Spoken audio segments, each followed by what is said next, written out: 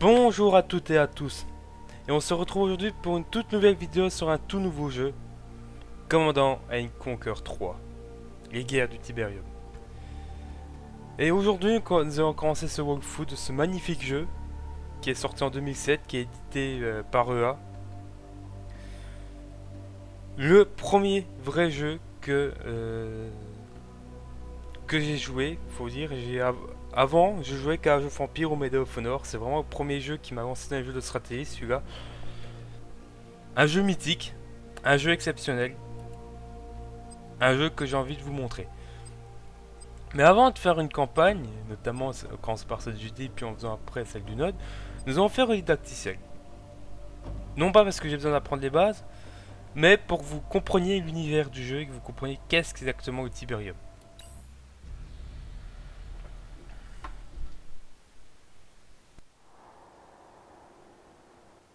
Dans cette simulation d'entraînement, commandant.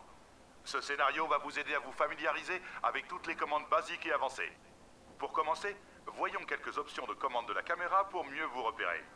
Pour bouger la caméra, maintenez le bouton droit de la souris et faites glisser le curseur dans une direction. C'est à vous de jouer. Excellent. Objectif rempli. Durant l'entraînement, vous pouvez voir les objectifs à atteindre si vous ne savez plus exactement où vous en êtes. Pour afficher vos objectifs, cliquez sur le bouton clignotant en haut à droite de l'écran. Apprenons maintenant à commander les unités.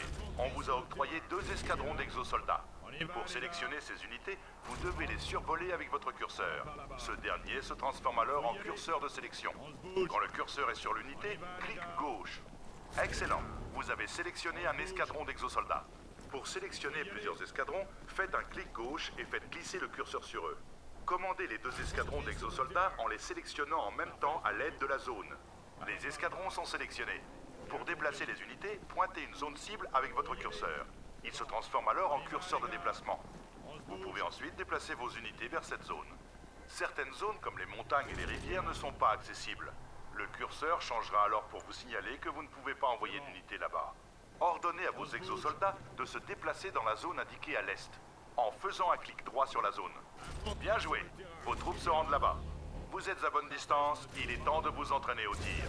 Si vos exosoldats sont sélectionnés, faites un clic droit sur les cibles à portée et les exosoldats leur tireront dessus.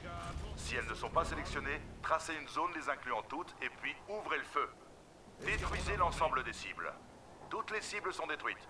Excellent travail, commandant.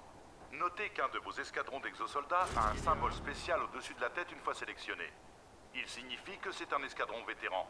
Il existe trois niveaux d'expérience. Plus il est haut, plus les unités font de dégâts et plus elles sont résistantes aux attaques ennemies. Déplacez vos exosoldats vers ce bâtiment endommagé. Dites à vos hommes de détruire ce bâtiment. Juste une information, au level 3 en fait vos troupes peuvent s'auto-guérir. Juste pour vous le dire, vu qu'ils n'ont pas précisé. Ça va saigner. Ils font tout sauter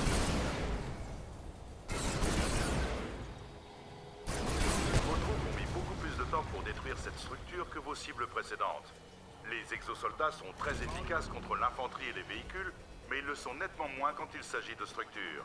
Par contre, certains chars et unités d'artillerie lourde détruisent des structures, mais s'avèrent beaucoup moins performants face à l'infanterie. À vous de choisir la bonne unité selon votre ennemi. La composition des troupes est importante dans le commandement d'une armée.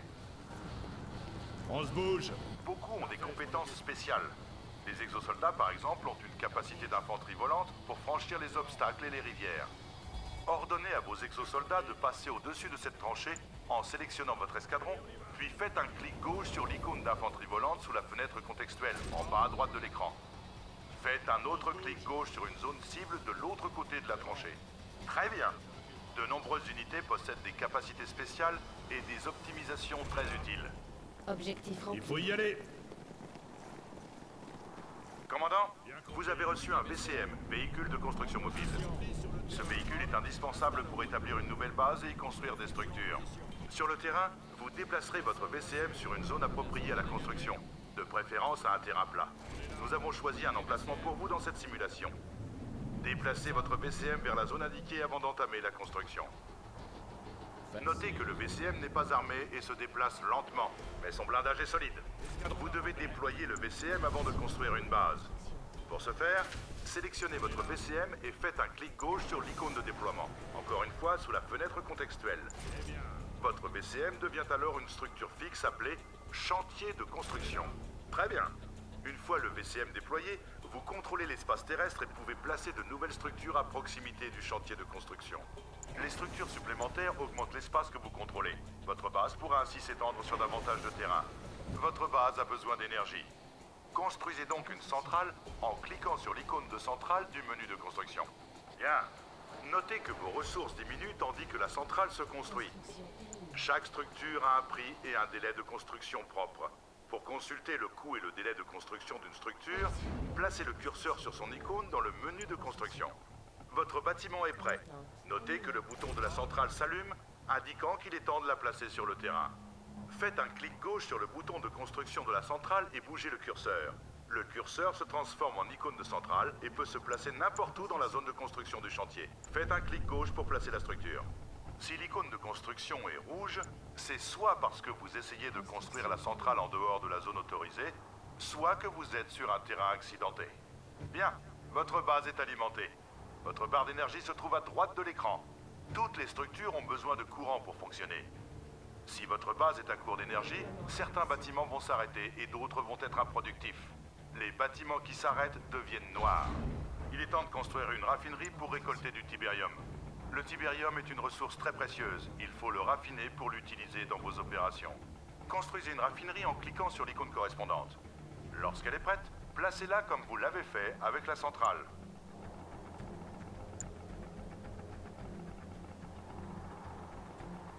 Construction terminée. Donc je vous laisse profiter, hein, vu que c'est Dactycel, pour que vous compreniez un peu quand ça se... Bon, c'est un jeu de stratégie normal. hein. Option pour nouvelle construction. Excellent. Vous constatez que le collecteur se met automatiquement en quête de tibérium à récolter. Quand le collecteur sera plein, il reviendra à la raffinerie pour que le tibérium soit traité. Vous disposerez alors de ressources. Puisque vous avez de l'énergie et que vos ressources augmentent, construisez des structures de production. Une caserne permet d'entraîner l'infanterie. Construisez-en une et placez-la sur le terrain comme vous l'avez fait pour la centrale et la raffinerie. Construction terminée. Je vais juste revenir sur une chose. faut savoir que tous les bâtiments, suite à un patch, ne fournissent plus forcément une nouvelle zone de, de construction. Les centrales, par contre, n'en fournissent plus, maintenant. De mémoire, les casernes aussi n'en fournissent plus. Donc ça, à savoir. Deuxième chose à savoir, vous voyez la petite balise qui est devant euh, la caserne? C'est le point de ralliement de vos troupes. Donc c'est là où ils sortent. Et troisième chose à savoir, c'est que votre récolteur, à chaque chargement de tibérium vert, vous rapportera 1400 en ressources. Option pour nouvelle construction. Objectif rempli. Bien joué. Vous pouvez constituer votre armée. Pour voir la liste des unités d'infanterie disponibles, sélectionnez la caserne ou cliquez sur l'onglet de production d'unités. Vous avez toujours le choix entre un clic direct sur la structure ou les onglets de l'interface situés à droite de l'écran. Cliquez sur l'icône d'escadron balistique pour entraîner des tireurs du GDI. Cliquez plusieurs fois sur l'icône pour entraîner plusieurs escadrons. Entraînez trois escadrons balistiques. Balistique Pour suspendre la production d'une unité ou d'une structure, faites un clic droit sur son icône. Si vous faites un clic gauche sur l'unité ou la structure, la production reprend. Si vous faites un clic droit sur la production en pause, la production est annulée et les ressources engagées vous sont reversées. Bon boulot, commandant. Vous avez su construire une base et entraîner une force d'infanterie. Vous allez affronter un autre commandant lors d'une bataille test. Il commandera l'équipe rouge et vous commanderez l'équipe bleue. Objectif rempli. Et vous pouvez aussi renforcer les bâtiments avec main. des troupes, mais bon, ça on verra ça plus tard. rouge peut attaquer à tout moment. Avant l'assaut, installez donc vos tireurs dans ce bâtiment abandonné. Pour former une garnison, sélectionnez vos tireurs Ah et faites un clic droit sur le bâtiment pour qu'ils entrent. Vos unités ont l'avantage d'être à couvert dans le bâtiment.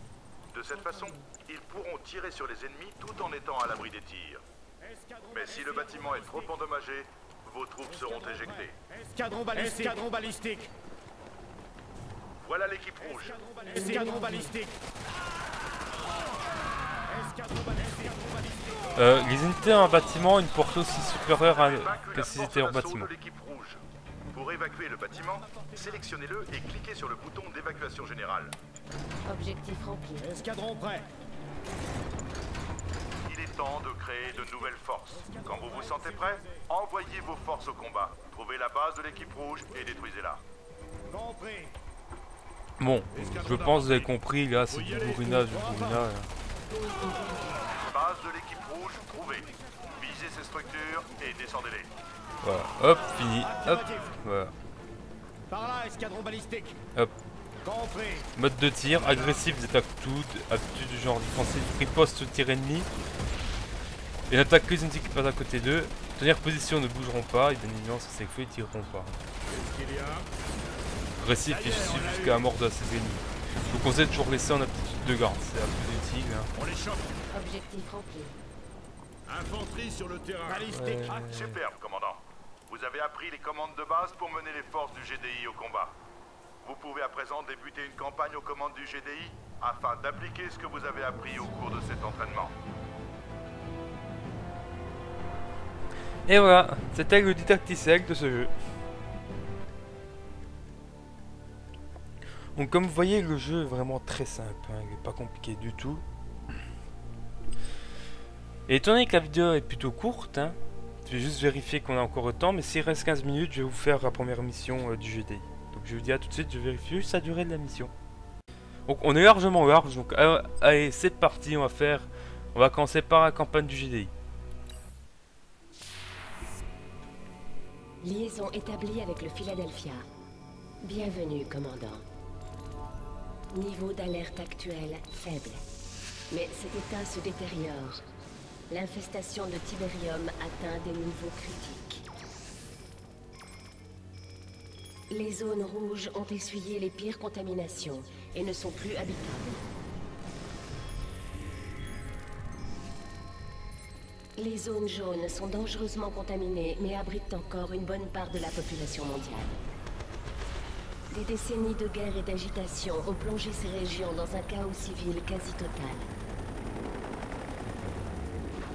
La domination de la confrérie du Nord sur ces zones est écrasante. Ils profitent du chaos ambiant pour recruter en nombre et dissimuler leurs infrastructures militaires. Leur leader est un homme charismatique connu sous le nom de Kane. Il veut accélérer la propagation du Tiberium, aveuglé par l'idée que ce minerai entraînerait une nouvelle évolution de l'humanité. Mais ces dernières années, la confrérie a fait preuve d'un calme étonnant et n'a mené aucune activité terroriste. Le reste de la planète a été préservé de la menace du Tiberium. Ces zones bleues, considérées comme le dernier refuge du monde civilisé, sont aussi son dernier espoir. C'est pourquoi elles sont protégées par le GDI. Vous avez reçu le commandement des forces du GDI de toute la côte est des États-Unis. Bonne chance, commandant.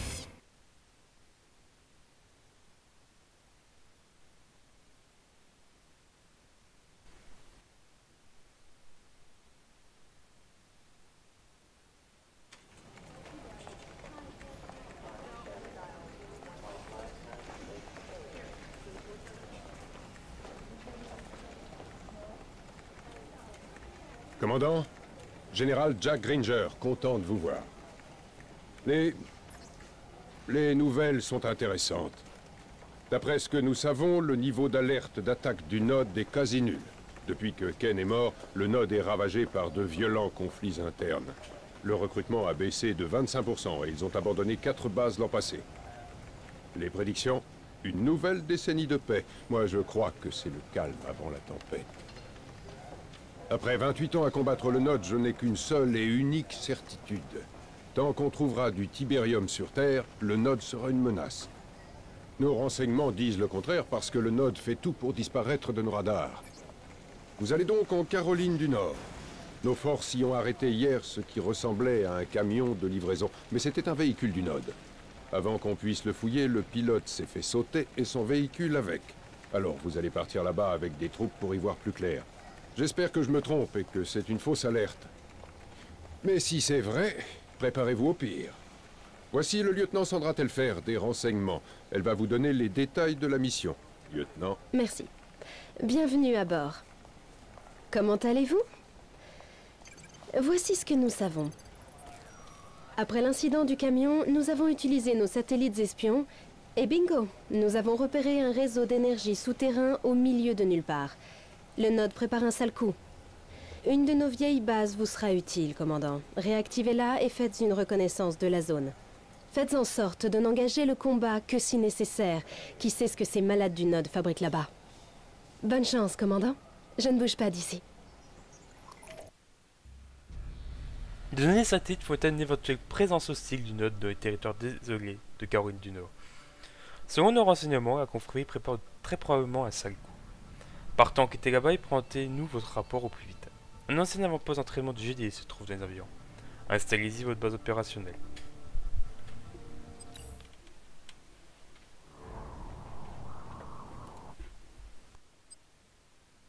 Bonjour, commandant. Ici le commandement du GDI. Nous allons vous briefer sur les opérations en cours pour cette mission. Préparation transmission vidéo. Commandant, vous devez localiser l'ancien avant-poste du GDI et vérifier si les troupes du Node sont encore dans la région. Nouvelle transmission. Cet avant-poste a été abandonné il y a bien longtemps, son intérêt stratégique ayant diminué. Une fois que vous y serez, nous pourrons le réactiver à distance. Ça change de la routine des patrouilles. J'attends vos ordres, commandant. Escadron prêt. L'arme à portée de main. non en vue. Unité attaquée. Préparation transmission vidéo. On dirait bien que le Node est dans le coin. Éradiquer les forces du Node qui occupent l'avant-poste.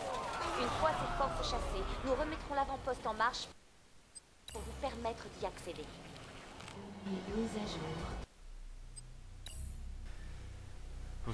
Je sais pas si je dois tous vous les archives. De toute façon, il y aura une vidéo où il y aura tous les archives, mais bon. C'est des informations complémentaires au jeu, donc si ça intéresse les gens, je vais quand même les lire pour au début, et j'attendrai vos avis dessus. Tiré d'un article de presse daté de 2043. Depuis 2043, il a fermé plus de 60% de ses bases militaires dans le monde. Il comprend en Caroline du Nord, au Brésil et en Europe de l'Est. Ces derniers ont... Fermé en raison de la chute de l'activité du. Depuis la mort de Ken, on dirait que la confrérie tombe en pièces.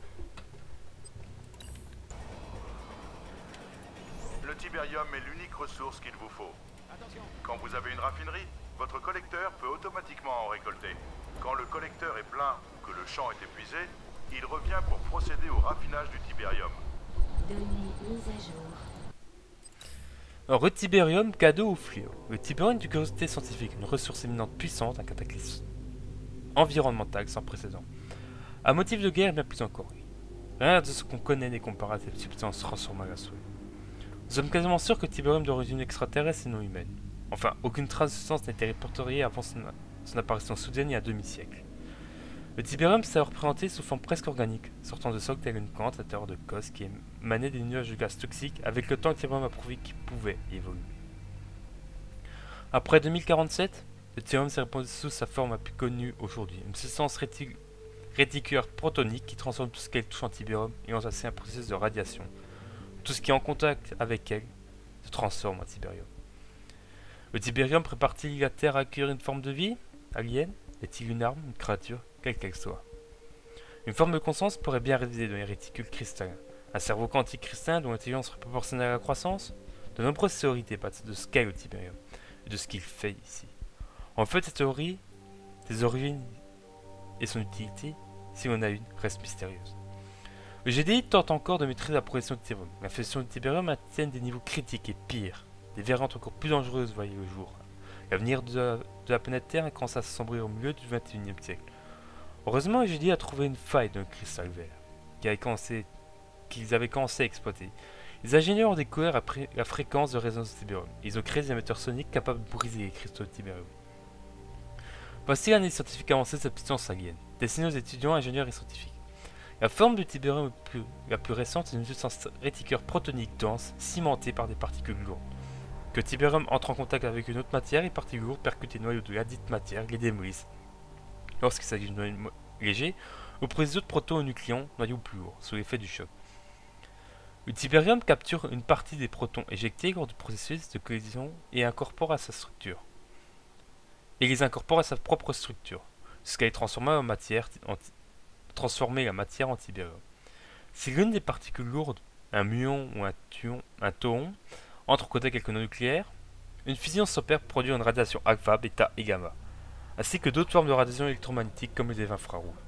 Au cours du processus de transmutation, les noyaux en contact avec Tiberium peuvent voir le nombre de leurs protons et de leurs neutrons osciller généralement à la baisse. Donc en gros, le Tiberium est dangereux pour la vie.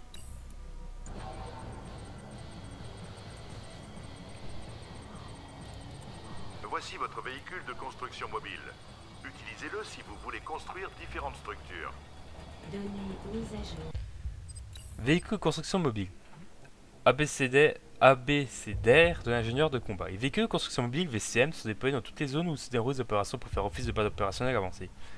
Le VCM se déplace sur terrain plutôt dégagé. Il ne dispose d'aucune défense. Il ne dispose d'aucune défense. Lorsqu'il arrive à sa destination, le VCM peut mettre immédiatement sur pied un chantier de construction capable de construire une structure de production, une raffinerie de Tiberium et tout autre élément nécessaire dans une base opérationnelle.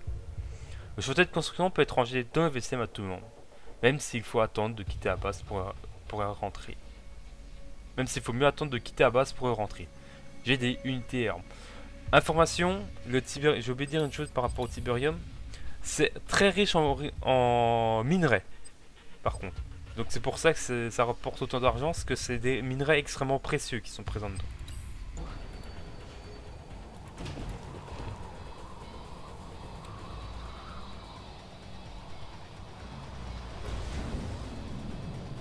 Transmission vidéo.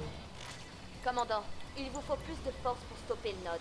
Sélectionnez votre chantier ou l'onglet de structure de la barre de commande et cliquez sur l'icône de la caserne. Bon, on va faire une nouvelle caserne. transmission.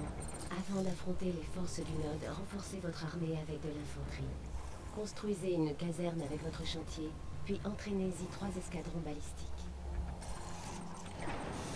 Construction terminée. Donc, Déploiement impossible.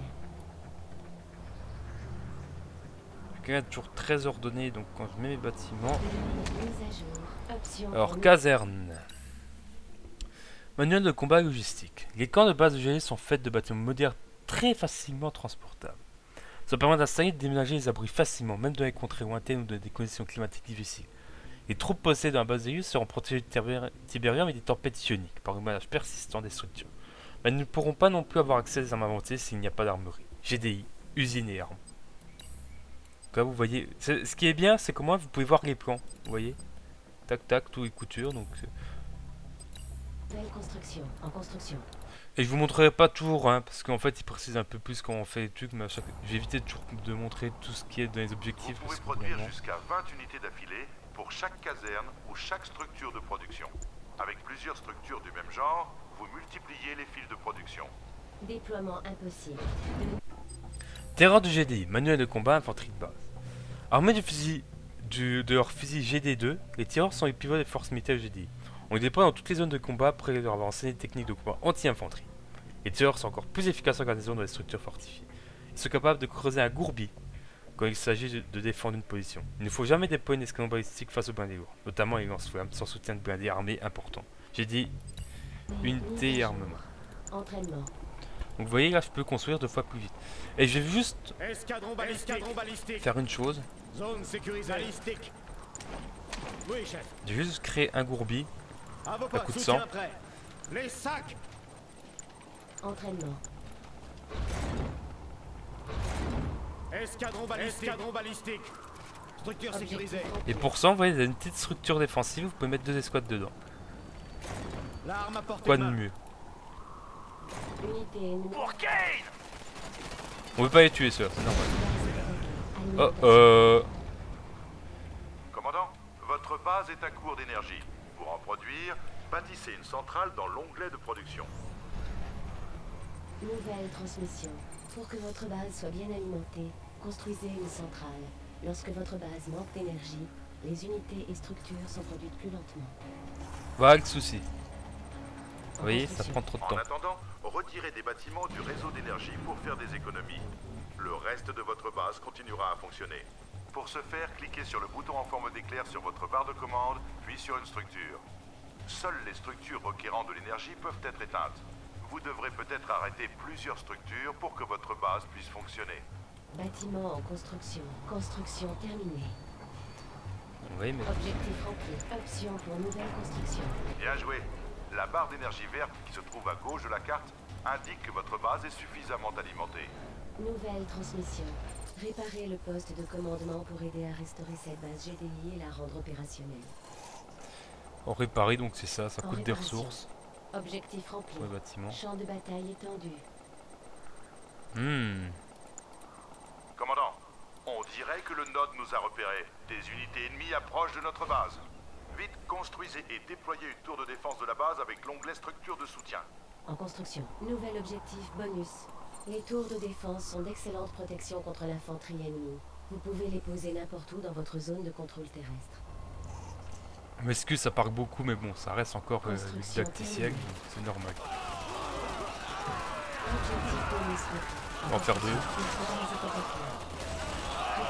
Transmission vidéo. Très bien, commandant. À présent, avancez et détruisez l'avant-poste du Node qui garde ce pont. J'envoie des renforts sur le champ. Déploiement impossible. Nouvelle transmission. Les forces du Node paraissent peu nombreuses. Éliminez ces dangereuses structures. Allons-y Oui, chef. Les renforts lance-missiles viennent d'arriver. Un nouveau genre d'unité est disponible à la caserne. Affirmatif. Unité attaquée. Affirmatif. Si vous voulez contrer le Node, réquisitionnez des escadrons lance-missiles supplémentaires. Les missiles sont bien plus efficaces contre les structures que les fusils du GDI. Entraînement. Données mises à jour. Escadron lance-missile GDI. Les escadrons lance-missile GDI sont armés du FGM-90, conçu pour infliger un maximum de dommages aux véhicules, mais aussi aux avions. Les véhicules légers comme les jeeps et les buggy sont ici privilégiés des escadrons lance-missiles. On emploie généralement les escadrons lance-missiles avec plusieurs escadrons balistiques. Mais ils font également des dégâts lorsqu'ils sont en garnison des bâtiments civils ou dans un habités, à l'abri des tirs anti-infanterie, GDI, unité. On se concentre. Pour ceux que ça intéresse, Construisez une seconde caserne pour créer une deuxième file d'infanterie. Cela vous permet d'entraîner deux fois plus d'infanterie et ce simultanément. Chaque structure de production supplémentaire. Objectif bonus rempli. Escadron lance-missile prêt au combat. lance-missile prêt au combat. On y va. On y va. Ressources insuffisantes. Escadron lance-missile prêt au combat. Bon. Lanceur prêt. Suivez vos cibles. Explosons-les. On les garde en confirmation de l'ordre. Oui, chef. Escadron lance-missile prêt combat. Une exploration de la zone est nécessaire. Réparez le pont pour que les troupes puissent traverser la rivière. J'ai tout ce qu'il me faut. Tout est prêt. Soutien un nouveau genre d'unité est disponible à la caserne. À Escadron ingénieurs du GDI. Les ingénieurs de combat du GDI sont capables de capturer les bâtiments ennemis et de réparer des structures telles que les ponts et les bâtiments d'une base. Déployer un ingénieur dans une structure de base ennemie pour vous en emparer. Ou bien envoyer un ingénieur dans un bâtiment endommagé pour qu'il le remette en état. Pour réparer un pont endommagé, on déploie un ingénieur dans la guérite de réparation automatique du pont. Extrait de l'ABCDR de l'ingénieur de combat. En tant qu'ingénieur de combat, vous devez impérativement suivre quelques règles de base. N'agissez jamais seul en territoire ennemi. Votre armure ne peut pas résister aux armes les plus modernes. Vous êtes armé d'un GD45 standard. Ne l'utilisez qu'en dernier recours car il ne transparaîtra pas les bandages les plus modernes. Quand vous, accédez à une structure ennemie, désactivez le terminal central avant toute chose. Vous pouvez installer votre programme pour relier la structure à notre, poste de commandement le plus proche. Quand vous entrez dans une structure dégradée, commencez toujours par lancer le programme de contrôle des dégâts pour faire l'état des lieux, pour ensuite entamer les réparations qui s'imposent. Ne quittez jamais votre casque. missile. Donc ça, ça a été L'arme à réparé. portée de main. Objectif rempli. Balistique. On se concentre. Oui, chef. Nouvel objectif bonus. Au rapport. Les ingénieurs peuvent déposséder un commandant de l'une de ces structures. Prenez le contrôle d'une structure ennemie présente dans la zone. Pas de soucis. Les codes de commande arrivent. Soutien prêt. Bâtiment capturé. Objectif bonus rempli. Nouvel objectif bonus. Vendez une structure prise au node. Bas le génie. Oui, chef. Structure vous rapportera la de son coût. C'est bon. Enfin d'achat. Continuons. L'arme à portée de main. Compris. Et je vais récupérer ça, ce que vous voyez, ça rapporte 25. Nouvel objectif bonus. Les réserves de Tiberium sont des structures techniques qui vous permettent d'engranger des ressources sur le long terme. Capturez cette structure avec un ingénieur. Bah pourquoi? Nous sommes là, commandant. Soutien prêt. Lanceur prêt. Ça y est, tout est prêt. Je trouverai une entrée. Allez. Escadron lance-missile. Envoyez une zone Suivez vos cibles Ces véhicules du Node constituent un problème, commandant. Construisez un aérodrome et des orcas. Ils sont efficaces contre les véhicules terrestres et les structures. Mais les orcas transportent peu de munitions et rentrent souvent pour se ravitailler. Donc un aéroport. D'accord. Les orcas ne vont pas tarder à arriver en renfort. Vous devez construire un aérodrome afin d'accueillir leurs vaisseaux. Lance-missile au Confirmation de l'ordre Escadron Point de rendez-vous confirmé. Construction terminée. Donc un aéroport, ils nous ont dit. Un. Alors, on va mettre la tour comme ça. Objectif rempli. Option pour nouvelle construction. Bâtiment capturé. Objectif bonus rempli. Entraînement.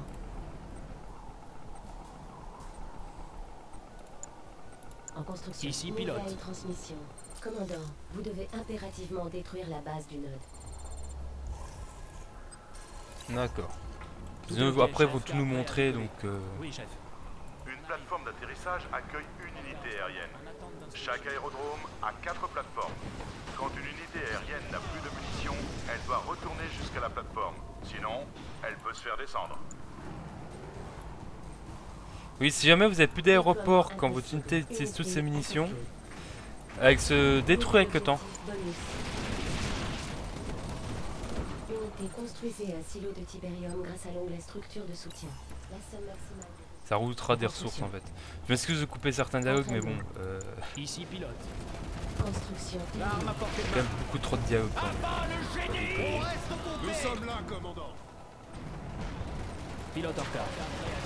Passe à l'attaque. Cible validée. Attaque lancée. C'est bon. Ça va faire mal. Voilà, les orcas sont juste parfaits. Sachez que vous pouvez accumuler des ressources jusqu'à un certain nombre. Au-dessus, vous pouvez plus accumuler de ressources. Soutien prêt. Affirmatif. Orca prêt à décoller. En attente d'instruction. Vite fait, bien fait. Ah, tiens, ils ont reconstruit une usine d'armement. Pas courant. Unité attaquée. Orca Aux prêt à ordres. décoller. Unité Orca. Voilà. Qu'ils viennent. Ici, pilote. Oui, chef. Passe à l'attaque. On vous Après, reçoit. on se réarme, Vite hop, on fait. repart. Même s'ils sont pas euh, au max de munitions, c'est pas grave. Système en marche. Stabilisateur en position. Oula. Soutien prêt. Ils préparent leur défense là. Cette base du Node est trop vaste, commandant. Je vous ouvre l'accès aux commandes du canon à ion. Utilisez le canon éliminer la base. Au rapport. En position. Mode de contrôle du canon à ion activé. Commande du canon à ion, ok. En position sur la côte est. Prêt à tirer. Affirmatif. En position. Compris. Par là. Oh oh oh oh Sélectionnez. Orca en stand-by. C'est la super arme du GDI. Bon, là vous calme hein. Et voici le centre de contrôle du canon à ion.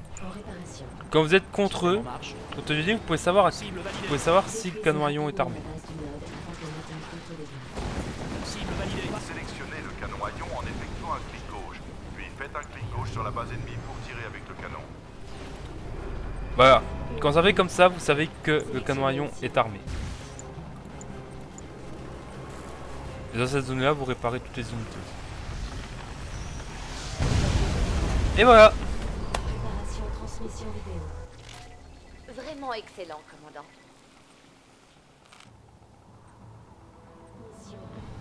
Et ainsi, nous avons accompli cette mission. Bon, je m'excuse que la vidéo soit un peu plus longue, mais bon, au moins vous avez eu deux, vous avez eu deux missions en une. Au moins. Et il vous reste une cinématique. Commandant, il est évident que le Node prépare quelque chose et au vu de la taille de cette force, ça ne va pas faire dans la dentelle. Je viens de demander expressément une réunion d'urgence, mais ça tombe plutôt mal. Tous les cadres du GDI sont sur le Philadelphia pour ce fichu sommet Je suis de... désolée, Général. Terrible nouvelle. Une attaque sur le centre spatial de Goddard, Maryland. On aura des visuels dans une seconde. Vous avez vu ce qu'ils ont fait?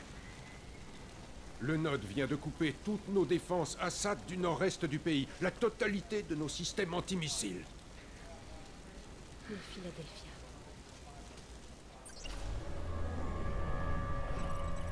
Que Dieu nous aide.